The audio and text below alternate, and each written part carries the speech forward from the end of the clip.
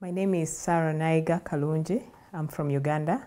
I'm the program director for SOS Student Village Kakiri.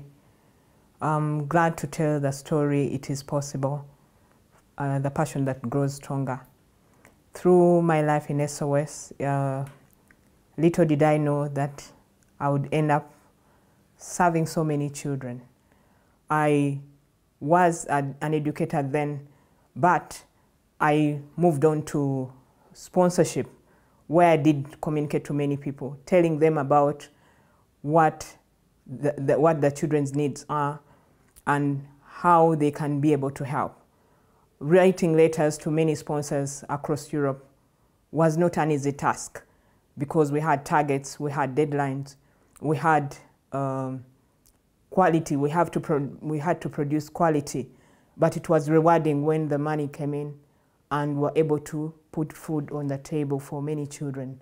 I continued looking for support uh, through serving the child more. Little did I know that I was going up the hierarchy. An opportunity came where I had to, to serve as a program director in, an, in a war-ravaged area. And it was not very, it was not very easy uh, going into a, a, part of a country where you are not from. But it was a passion that took me there.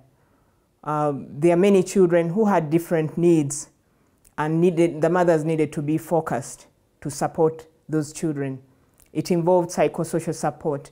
It involved still looking for uh, resources. It involved being creative to get those resources through um, organizing events but it was a success. Today, the location where I'm at is one of the best locations, as I'm told by my supervisor. Many public funded projects have come in because they've seen the need to partner with a good organization to support many children. And I want to tell it all, I want to tell everyone that it is possible at the different levels of the organization to support many children. Thank you.